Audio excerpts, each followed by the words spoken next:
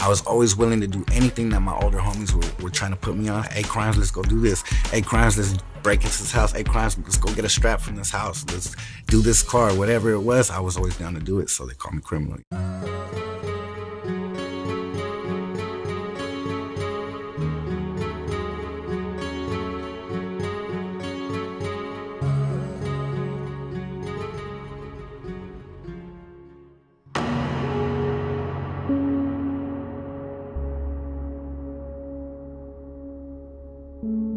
Both of my parents are immigrants. They come to this country with a dream and a goal to, to make their lives better and chase their dreams and do everything that they couldn't. And uh, my father crossed with his best friend. His name was Antonio, and they made it to the Rio Grande River, and he passed away. His his best friend didn't make it, so my father ended up making it, and uh, he met my mother. My mother also came here not knowing the language, just speaking only Spanish. I seen the street life young. It was brought to my front door, literally brought into my home. Seeing, uh, you know, my brother's friends were involved in gangs, you know, doing doing things that they shouldn't have done around the child.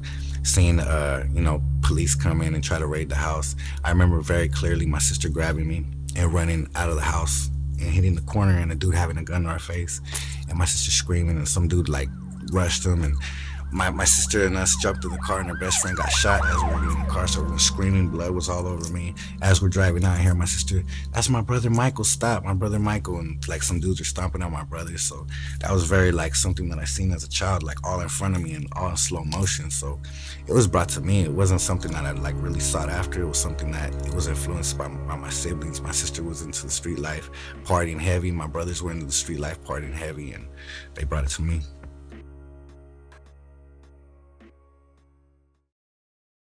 Each one of my siblings left like immediately at 18, if not younger. 17, 16. So I go outside in the streets and it's pretty much the same continuation of what I seen from my brothers and, and my sister in the house. And basically now it's a new crowd, it's new people, and now I have to fit in with them. The sense of camaraderie and, and like friendship that you have within a group of people, it makes you feel like family. It makes them makes you feel like, you know, a brotherhood, like like really closeness. But whether you're, you're having a good time drinking a beer, maybe taking your first hit of weed on the block, having a good time, making jokes with each other, you know that that's all a good vibe. But the moment you see a car hit the corner with the lights off, everybody like, oh shit, starts hitting behind something, grabbing stuff for protection. You start hearing gunshots. That's how you know it's not right. That's how you start feeling in your heart. This is a good family vibe, but something isn't right. Why do those people over there want to kill us just because we're hanging out right here smoking and drinking? Now because they did that, now we're gonna, you know, do the same thing, jump in our cars, retaliate, wait until they're hanging out, and, and catch them slipping at their weakest point when they're just having a great time. Now we're gonna come and give them the same thing, and it's kind of like that's something you go to sleep at night, no matter what age you are, and know that that's not right. You know what I'm saying? I was locked up a total of nine times before I hit 18. So I spent pretty much my whole juvenile life from 11, 12 years old until I turned 18 behind bars. I ended up getting locked up a couple months later in a whole different situation. And one of the main people when they led me into the juvenile hall was like, okay, Harris, show Garcia around. It was like one of my worst enemies. This dude, like one of my boys stabbed his boy. Like it was like really bad. So this guy's like, yeah, I got you now. I mean, you know, so we're like, he's sitting there threatening me the whole time where he's supposed to be showing me the program. It just was, you know, the way that we're raised, the way we're taught. You just had to do your thing. So I just took flight on them in there, which basically I attacked them. And uh, when they were trying to pepper spray me and stop me, like I, I got like I attacked the staff too, so they put me in confinement for a little while. So that was my first time they put me in. I think it was three weeks because I hit one of these guards. Putting me in this little room like that 23 hours a day was like really just torture. It was like there was nothing to do at all. And that, that, that was my first time 13 years old there's nothing you could do. You don't have no books, you don't have no TV, no nothing, nobody to talk to.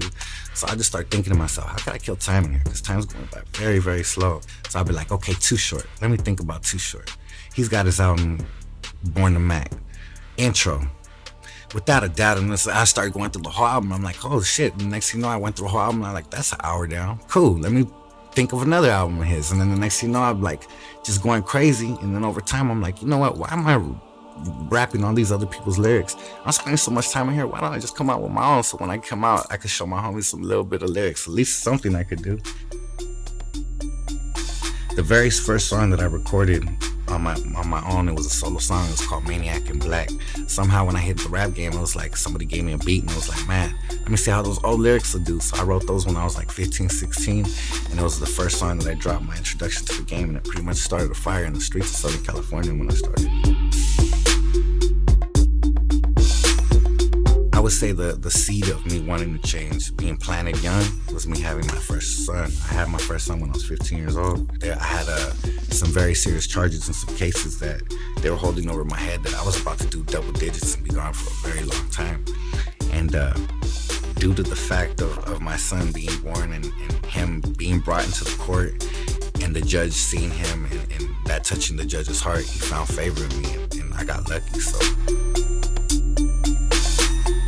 Told myself I had to make a change. I just didn't know how that change was gonna come. Being in the street life still, doing what I normally do. Car show pulls up, hey, criminal, what you doing this weekend? I'm gonna go soup you up with a couple of the homies. All good, what's up? What we doing? We're gonna pull up at this car show, represent. All right, all cool. We go to the car show, end up meeting the right people, end up meeting the local artist by the name of Mr. Capone. So it just so happened to be fate. Right when I hit the studio and dropped my first song with them was when he secured his deal with Universal Records. So I got signed right at the same time. So it was pretty much fate and it was a street life that made it happen. It wasn't me trying to do good. It wasn't me going out trying to search for, for a job or anything. It was just me going and rolling with my homeboys, jumping in the Regal, had a Tech 9 on me. I remember my homies like, nah, homie, you're not taking that tech with me today. I'm like, homie, I remember being on my homie like, why you acting like a bitch? I was like, we always strapped up. Why you acting like that? Well, that was fake too, because we got pulled over right before we hit that car show, and that cop searched the hell out of that whole car. And I would have never made it to meet him, and I would have never made it to the rap game if my homie didn't let me take that that day. So at the end of the day, you know, they're like, hey, criminal, your new album just came out. Why don't you jump on, on this little tour with us and to this Portland car, car show? So I went to the Portland car show having people screaming my name as soon as they see me coming up, going crazy, literally girls like shaking, having me autograph, big old line. I mean, this is really happening. Like there's really kids and people coming out of their homes and standing in line with these posters and wanting to do anything they can just to shake your hand. And I'm thinking, a couple weeks ago I was just in jail. I'm like, what the hell is this? Like this is really something that could take off and, and do something positive successful. I went home with a couple thousand dollars in my pockets, not for selling drugs, but for selling my product of, of music. And, and, that felt good to do that all in one day. I would see uh, kids all over the country reciting my lyrics, uh, coming up to the shows wearing the same jersey I wear on my cover, wearing blue rags just like I was wearing blue bandanas, coming up saying like, yeah, homie, I, am like you. I'm from Cali too. I represent. And it's like, wow. Just because of my album cover, I'm sitting here with the Dodger jersey and a blue rag around my hat. Now every state I go to, people are showing up like that. It's like, wow, this is really an influence more than just music. It's a, it's fashion. It's everything. Like they, it's a lifestyle. They really want to try to be like emulate this. Like they look up to us heavily, you know, and it, and it really opened my eyes. The next thing you know, you know, you go into these shows and instead of you hearing like, hey, your music's dope. Hey, you got dope stuff, which I hear a lot I started hearing like, "Hey, homie, your music's gangster. I just smoked the enemy to, to one of your songs last night, or I just shot up, lit up some of my rivals. I just did this. I put a lick to this." Or I start hearing this so many times, and that that starts being like, you know, more implanted in my brain as I'm hitting different cities. I'm like, wow, there's something not right here. You know what I'm saying? It's like I'm I'm I'm being blessed with this gift to make music, and I'm being blessed with this influence and so far, what have I really done? It made me reflect on myself like, man, if I rewind all my music, what's there? It's representing gang banging, shooting, nothing but negativity.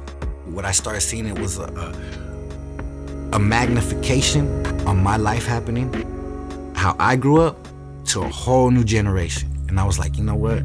Someone's got to step up and speak on this because nobody's saying it. Nobody ever says it. Nobody's highlighting it. No one's letting it be known. So if it's never letting it be known, if nobody speaks on it, it's just gonna keep on happening, keep on happening, keep on happening.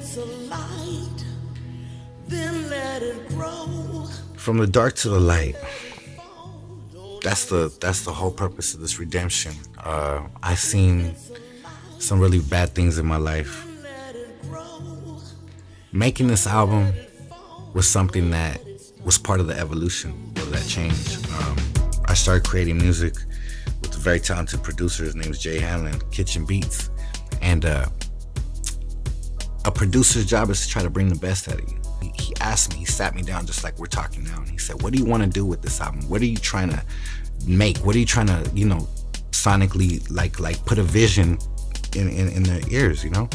And I explained to him when I'm explaining to you how I wanted to make a change, how I felt I was at a crossroads in my life, how I, I was feeling like this responsibility, exactly how I explained.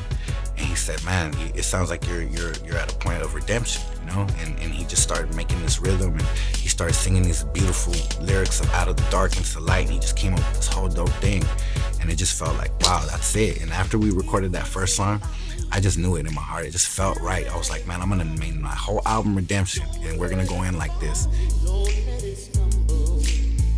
Yeah, so we started this mutual respect movement a few years back. My brother Kam, he's uh, has a heavy influence over his community and his culture, and uh, he's connected heavily with the Nation of Islam, Minister Farrakhan. He reached out to me so we could bridge the gap between our cultures. We started this Black and Brown movement called Mutual Respect on this album, we have one that we clicked up together and we made a real, real big one. It's called The Crown and it's featuring the game. And uh, I got Kam on it. And so we're just keeping this respect going and showing that it's okay for us to make this music together, for us to stand together and not be bloodshed, for us to be in the same room and not want to kill each other, you know? And that's something that is deeply rooted since we're children, you know? And, and now it's finally being broken through music. So many big things coming on this album, Redemption. I have some huge features. Um, we got a new track with Wiz Khalifa that, that we just did with Purps of 808 Mafia. I've got my boy G Perico on some stuff, uh, some street stuff. I've got some music that's really, really heavy, hard hitting to the heart, some stuff called Heaven Knows. Um, my Latin American Dream. It's just a lot of good stuff on the album. It's a well rounded project, double disc album, almost 40 songs. And uh, there's a little bit of something for everybody on there. Instead of seeing Hey, I just went and smoked somebody to your music last night. Hey, I just went and put in work. I'm seeing the complete opposite. Now I'm seeing kids say, hey, what you said in your song so and so now i'm seeing it man. My big homie tried to do me dirty and you know what? You're right criminal. I'm gonna make my own decision. I'm gonna think for myself. Or hey you know i changed this because of this and i don't want to pick up a gun now. I want to pick up a camera like you said in your song. I don't hey it's nothing but positivity now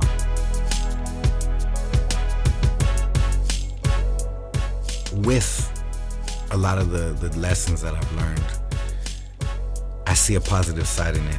I see, even though that we've went through the negativity, it's like going through a fire. Going through a fire eventually purifies a human. I truly feel that everything that we go through is for a reason. It makes us stronger, it builds our character. It's gonna make the next generation stronger and know not to go down that route and, and go down that path.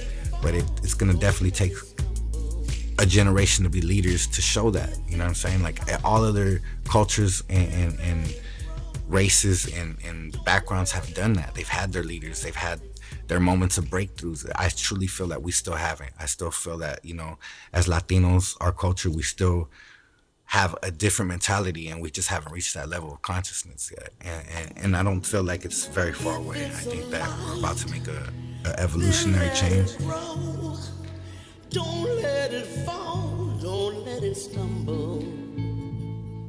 So my message to the youth out there, to young Mr. Criminal, if you're listening, stay true to yourself, man. No matter what you're going through, it's gonna be all right. You might be going through some dark times, you might be going through some fires, but there's always gonna be a light at the end of the tunnel. Stay true to yourself, believe in yourself, look around, open your eyes. The world's a beautiful place. Don't don't believe that you're stuck where you're at and that's all it's gonna be. There's a whole life waiting for you no matter what you do, don't let no doubters say that you won't make it because they told me I would never be nowhere. I was supposed to be doing double digits. They said I'd be dead or in jail at this stage of my life. And I'm here. So thank God. Keep God first. So check it out. I want everybody to know we got the new website, MrCriminal.com. It's a lifestyle, it's a movement, it's a culture. So I want you guys to check it out. We're gonna be giving you guys some exclusive behind the scenes subscriptions. There's gonna be definitely added value that you guys can't get on regular social media. And uh, I want you guys to stay tuned. We're gonna have some exciting stuff coming for you. Subscriptions coming soon, MrCriminal.com.